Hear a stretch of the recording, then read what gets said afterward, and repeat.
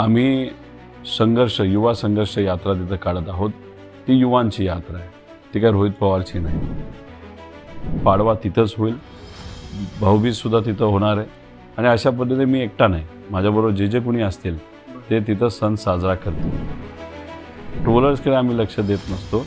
आम्ही लोकांना लोकांचे प्रश्न समजून घेऊन ते मार्गी लावण्याचा प्रामाणिकपणे प्रयत्न करत असतो. ज्या ज्या काही नेते त्यांच्या मुलीला मुलाला कुठं ना कुठं तरी पद मिळालं भाच्याला मिळालं. पण तिथं मी कुठं मागे लागलो नाही. राजकारणाची स्टाईल विचार बदलणे नाही पाहिजे स्टाईल शंभर टक्के येत्या काळामध्ये बदलली पाहिजे तर पूर्वी आदरणीय पवार साहेबांना तुम्ही देवत म्हणत होता. आणि आता हुकुमशहा म्हणता म्हणजे एवढ्या लवकर जर तुमची विचारसरणी बदलत असेल तर तुम्ही किती स्वार्थी आहात हे कुठंतरी त्याच्यावर सिद्ध होतं.